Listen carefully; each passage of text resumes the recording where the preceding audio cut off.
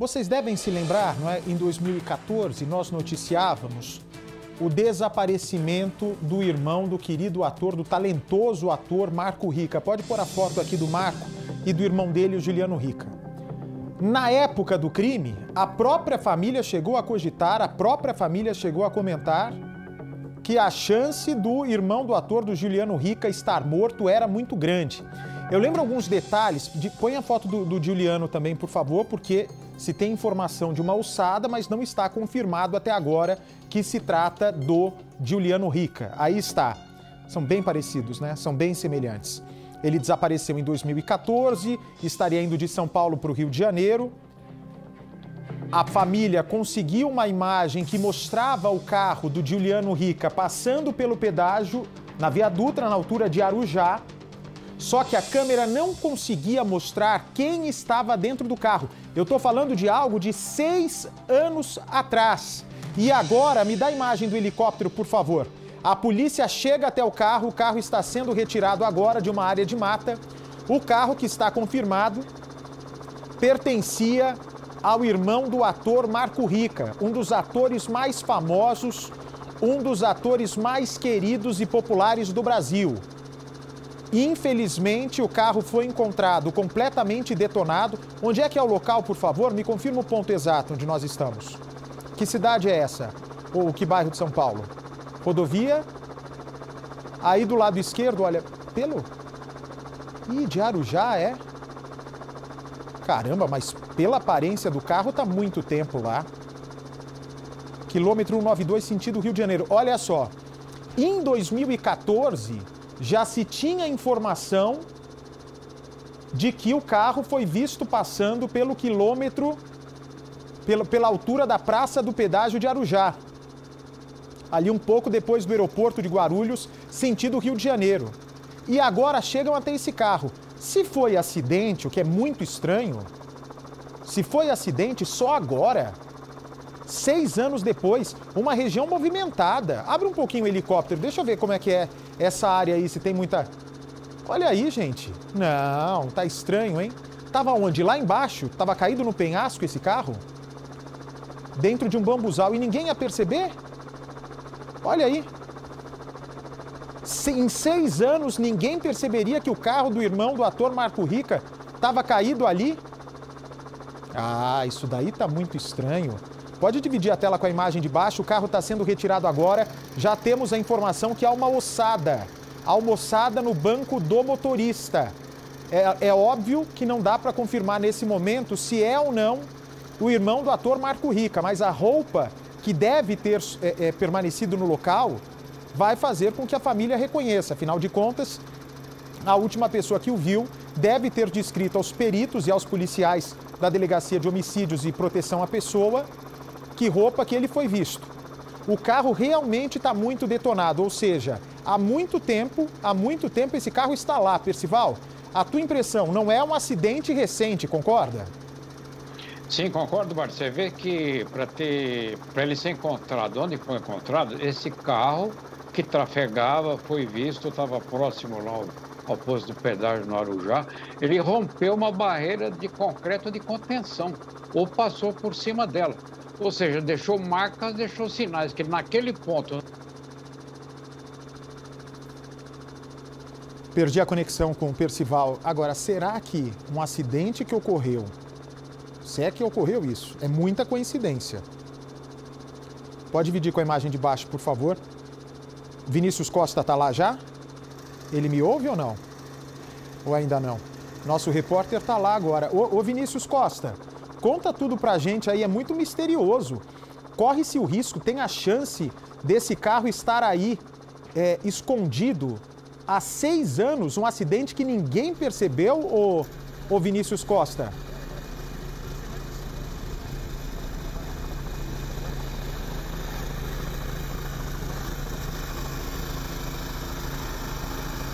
Eu ainda estou sem a comunicação com o nosso repórter Vinícius Costa, que já está lá no local. É, o carro. Olha só, deixa eu ver a lataria direito do carro. Ah, tá bem detonada já. Tá bem detonada. A cor tá até diferente, olha. Não dá para saber que cor que é. Se era preto, virou verde. pode ter sido também um acidente provocado. A polícia não descarta também, nesse momento não tem como descartar a hipótese de crime. Mas o Marco Rica, enche a tela com a foto do Marco Rica e com o Juliano Rica, o irmão dele. Esse do lado direito é o irmão do, Márcio, do, do Marco Rica. Marco Rica, que inclusive em 2014, na época em que o caso ganhou repercussão nacional, ele assumiu a frente da família para ajudar aí a identificar o paradeiro do irmão. Pode voltar para as imagens, por favor. A ossada vai ser retirada de dentro do veículo. O pessoal da CCR, que administra a rodovia Via Dutra, está dando toda a atenção, todo esse trabalho muito difícil. Olha ali, isso é o vidro, né? Olha, o vidro da frente praticamente intacto. Praticamente intacto. Parece. Eu não sei, será que aquilo lá é. é jogaram pedra no vidro? O, o Gerson Brenner foi vítima né, de um crime bárbaro na rodovia Presidente Dutra também. Agora, nesse. Tem muitos casos lá na, na Dutra Pode dividir a tela embaixo também, Edu, por favor. Nós estamos com o Motolink lá, estou aguardando o Vinícius Costa. Há muitos crimes ali na, na região da Via Dutra que eles jogam pedra para que o motorista perca o controle do veículo e pare. Ou então acabam colocando pregos na, no asfalto para que o motorista perca o controle e pare o carro e aí eles assaltam. Vinícius Costa, você que está aí no local, conte-nos tudo, por favor. Bate, boa tarde a todos que acompanham o Cidade. A gente está aqui vendo nesse exato momento a retirada do veículo que já, como já foi confirmado, pertence a Juliano Rico. O que a gente pode ver, Bate, aqui nesse trabalho bem difícil, inclusive, realizado pelos policiais rodoviários e também por peritos e equipes da concessionária que administra a Via Dutra, é, foi a dificuldade para se retirar esse carro da ribanceira. Mais adiante ali é um bambuzal, como a gente percebe. Esse ponto onde o carro está nesse momento sendo içado fica a cerca de 40, 50 metros aproximadamente da Via Dutra. Ou seja, o carro percorreu todo, esses, todo esse trajeto para que aí então despencasse ribanceira abaixo. Os peritos nesse momento já fizeram algumas imagens, alguns registros aqui do veículo e a gente pode perceber é, duas, duas coisas muito importantes que inclusive devem ser levado em, levadas em consideração pelos investigadores. A gente percebe que o airbag do veículo foi acionado e também aqui no porta-malas, o Gilmar Tavares vai até tentar mostrar esse detalhe, a gente percebe uma mala, Bate. Essa mala está praticamente ali é, saindo do porta-malas, principalmente pela movimentação realizada pelo guincho, mas a gente consegue ver que a mala está intacta, ou seja, ela não foi aberta em nenhum momento. Ela apenas saiu um pouquinho ali da área do porta-malas, exatamente pela movimentação do veículo, mas essas duas características a gente percebe de pronto. Os policiais que acompanham esse trabalho de remoção do veículo já destacaram essas duas características que eu apontei, a mala aqui no porta-malas e também o acionamento do airbag. Bate. Bom, eles estão agora preparando a retirada né, do corpo é, já tem alguém da família aí para fazer o reconhecimento das vestes? É claro que não dá para identificar pela alçada, né? vai ter que ser um exame de arcada dentária. Mas existem roupas que podem ajudar aí na facilitação do reconhecimento, que é o que a família mais quer saber agora. O carro, pelas placas, está confirmado, é o carro que pertencia ao Juliano Rica, mas é, as vestes confirmam ser o Juliano Rica Ô Vinícius Costa, já tem alguém da família aí no local, por favor? Bate, nesse momento não há ninguém da família aqui e também não está presente ninguém da família na delegacia de Arujá, onde foi registrada essa ocorrência.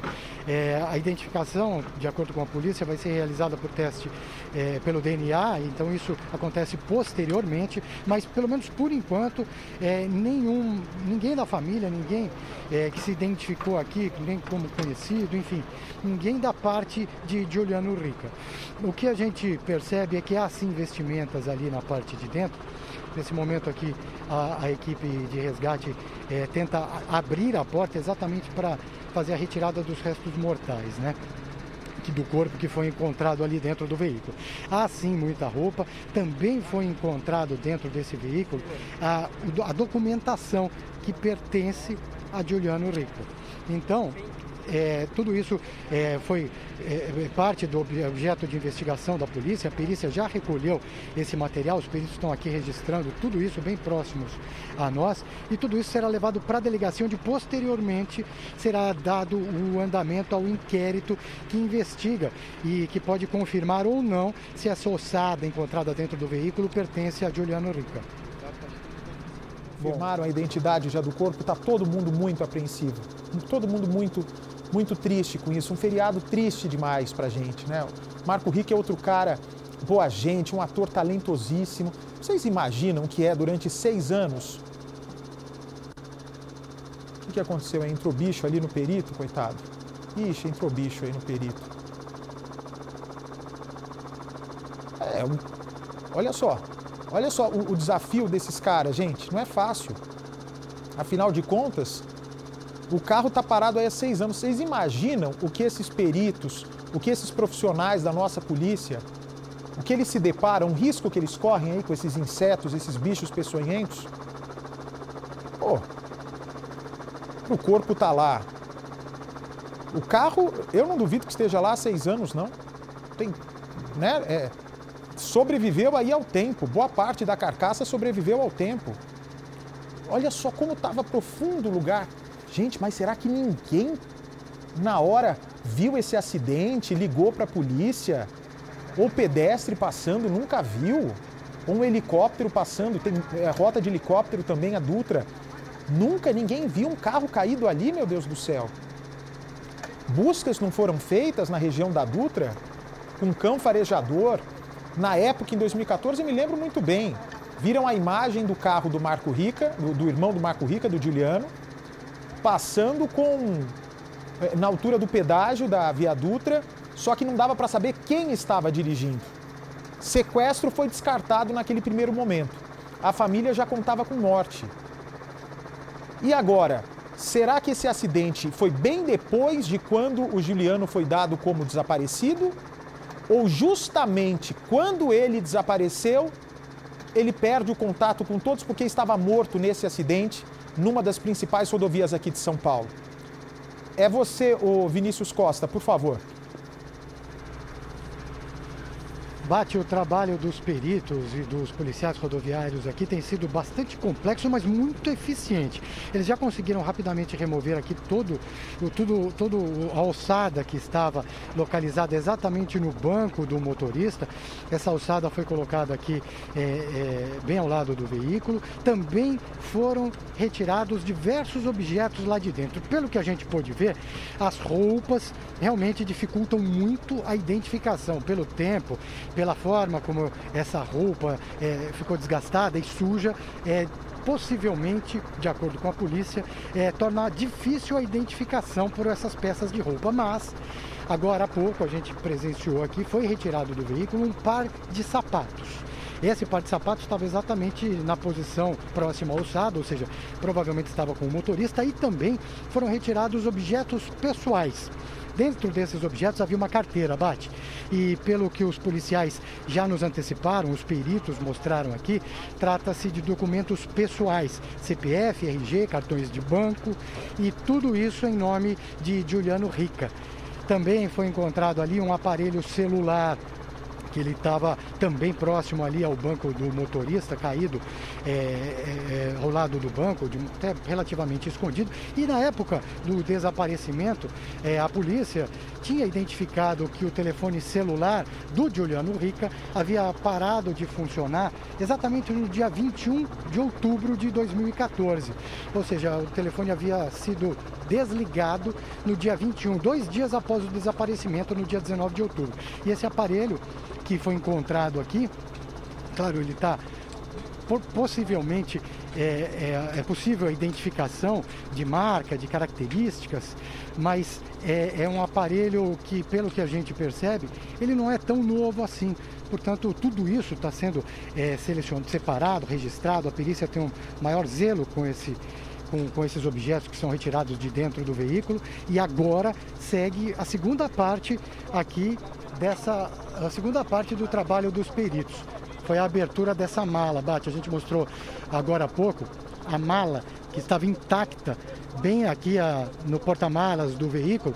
Nesse momento a mala foi retirada, dá para a gente mostrar até é, parcialmente o que tem ali dentro, um par de tênis, algumas roupas, e essas roupas sim, mais bem preservadas, viu Bate? Pelo menos visualmente a gente consegue identificar ali um par de tênis, e também um outro par de sapatos. Não dá para ser preciso, a risco da gente dar uma informação errada, mas essa mala se abriu assim que foi retirada do porta-malas. Até então estava intacta ali. Essa equipe de resgate tenta é, abrir o porta-malas, está difícil o trabalho deles aqui, é completamente é, difícil pelo tempo que esse veículo pode estar é, aqui na mata há muita terra, há muita grama. A gente viu agora há pouco aqui um dos peritos envolvidos no trabalho, os insetos entraram na roupa dele, porque havia muitos insetos dentro desse veículo.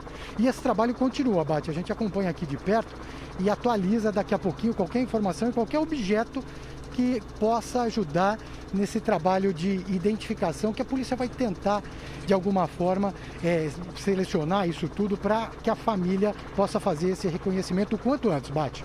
Olha, pela imagem da carteira, né? Vocês podem conseguir aí, o, o Rael, pela imagem da carteira, olha, tudo indica que seja um acidente. Olha, eu nunca vi, posso estar enganado, mas um carro ficar desaparecido na cara da câmera de segurança, né? São os últimos pontos filmados. A pista, a única pista que se tinha, que era esse carro passando na rodovia Presidente Dutra no, no dia 19 de outubro de 2014, ou seja, poucos metros dali estava o carro caído nesse barranco e ninguém viu. Ninguém testemunhou esse carro caindo. Porque, ok, ninguém parar na rodovia Presidente Dutra porque viu um carro caindo, porque é perigoso o lugar. Perigoso. É muito assalto. Mas ligasse, né? Tem que ligar para a CCR, não sei se era. Devia ser a CCR, que já tomava conta da Dutra na época, da nova Dutra. Não teve nenhum relato de uma pessoa que tenha ligado, seja para PM, para Corpo de Bombeiros, para Polícia Civil, para CCR ou dito algo em outro pedágio de que via um carro caindo? Será que ele estava sozinho na hora? E outra coisa, o, o, Vinícius Costa, não se descarta também que o carro tenha explodido, né, na hora dessa queda e chamado a atenção de alguém. Como é que pode? Na cara do gol, não é que vocês estão no meio do nada. Não é que nós estamos no meio de um matagal onde indica que o carro foi abandonado. Não! É, é no, na altura da.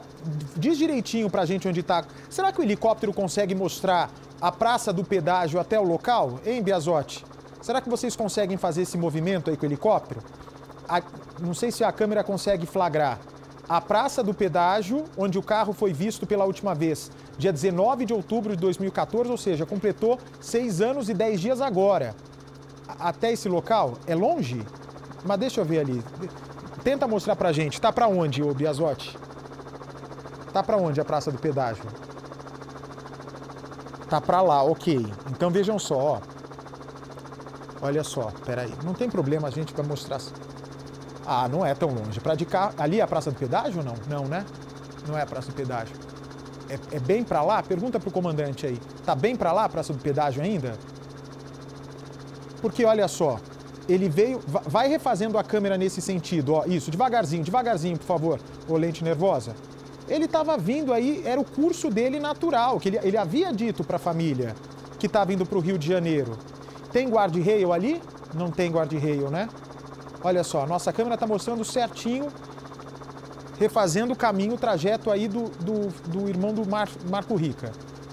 Se é que é ele dentro do carro, tudo indica que sim. Ué, tem guarda-rail sim. Parece que tem guarda-rail sim, gente. Não tem não? Isso aí. Pode fazer, lente nervosa. Vamos ver junto ali. Aí, o Renato Cãibra, presta atenção, vamos ver se tem. Se tem. Ali é a Praça do Pedágio, é? É ali Arujá. É, deve ser uns 3 quilômetros da praça, praça do Pedágio. Para quem tá. A Dutra é o quê? 100 por hora? É rápido. É rápido para chegar ali. Filma bem pertinho agora do asfalto para eu ver se tem é, guarda-rail. Ah, isso, aproxima um pouquinho ali. Deve ter entrado onde, hein? Depois disso daí, ele Pode ter perdido o controle. Ah, continuou ali, é? Eu pensei que fosse entrar naquela bifurcaçãozinha. Não entrou na bifurcação. Ah. Obrigado aí, lente nervosa. Eu sei que é um malabarismo que você está fazendo com a câmera. Já já informações exclusivas sobre o paradeiro do Paulo Cupertino. A Record saindo na frente com a nossa Thaís Furlan. Vou trazer todos os detalhes em primeira mão para vocês, hein? Entramos no quarto onde o Paulo Cupertino ficou escondido esse tempo todo. Vai lá, lente nervosa, vamos ver se tem guarda-reio ali. Ele já já vai baixar a câmera. Ah, eu tô cada vez mais cego, viu? Vocês me deram um estúdio grande agora, que eu, enxergo, eu enxergo menos ainda. Onde é que tá? Aí, tem guarda-reio ou não? Onde é que tá o carro? Tá para lá ainda? Peraí, trem de... Ué, tem, tem guarda-reio sim. Tem guarda-reio aí ou... Ah, tem guarda-reio. Não, ah, não é guarda-reio. É, a gente não sabe como era na época também, né? Mas ó, parece que tem um, né, um metro aí de altura.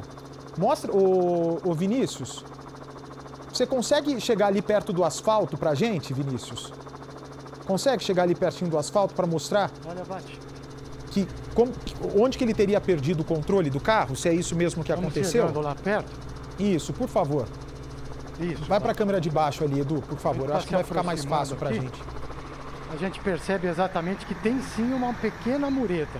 Uhum. Uma mureta de um pouco menos de 60, 70 Oi. centímetros. Tá vendo que o Gilmar Tavares tenta mostrar agora? É uma mureta relativamente baixa e pelo que eu conversei já com as, os profissionais aqui da concessionária que administra a rodovia, essa mureta já tem algum tempo. Eles não conseguiram precisar exatamente é, há quantos anos essa mureta foi instalada, foi construída aqui, mas eles disseram algum tempo, até pela característica, a gente consegue ver que ela está um pouco desgastada pelo tempo. É, daqui a pouco eu vou tentar apurar melhor essa informação sobre o tempo em que essa mureta está é, foi, foi construída aqui bem na beira da rodovia. Agora, qualquer pedestre bate que por acaso passe por aqui, dificilmente conseguiria ver alguma coisa nessa mata. Essa, a muretinha, como eu disse, aproximadamente uns 70 centímetros no máximo, ela protege muito bem essa área gramada e aí que está o mistério, né, Bate? Se a mureta já estava aqui em 2014, a gente vai confirmar isso o quanto antes. De que Ô, forma o veículo foi parar ali adiante? Nós estamos falando de 40, 50 metros de distância entre o asfalto e essa cerca que protege é, exatamente da ribanceira onde o veículo foi encontrado. Para o telespectador que chegou agora, esse veículo foi içado pelo guincho da concessionária agora há pouco, mas ele estava aproximadamente 20 metros abaixo nessa ribanceira, onde fica um bambuzal, uma área é, ser tomada pela mata, muito fechada. E quem localizou esse veículo foi exatamente é, funcionários que trabalhavam nessa área, funcionários da concessionária que faziam serviço de limpeza e de vistoria também nessa região e encontraram exatamente pela parte de baixo porque aqui por cima a visão é praticamente impossível identificar que existe alguma coisa Ô, Vinícius, atrás desse matagal. Vinícius, eu estou com problema na sua comunicação, mas deu para perceber ali, ó, é, tem bem uma curva, né? Percival me chamou a atenção, é bem uma curva, ó. E, e as curvas ali da, da Dutra são bem perigosas, como tem muito caminhão, torna ainda a situação para os carros mais delicada, olha. Olha aí, ó. Vem velocidade, é, ali tem guarda-reio ainda. Mas eu acho que o carro não entrou por ali, não. Onde é que você acha, lente nervosa? Você que já deu uma estudada aí no lugar, por onde pode ter entrado esse carro? Esse é o caminho, né? Aham. Uhum. Onde é que você acha que o carro pode ter entrado? Mas assim do nada, aí, lente nervosa, é, ali tem marcas de outros acidentes, né? Lente nervosa está chamando atenção para a marca de outros, outras pessoas que podem ter perdido o controle. Eu, eu tive a impressão que tinha uma, uma curva ali, mas não é curva, né? Não é curva, não. Segue, segue a imagem, lente, até onde o carro caiu. É, por ali, por esse morrinho, não tem como cair. Vai lá, vai lá. Rapaz, mas que coisa estranha, hein?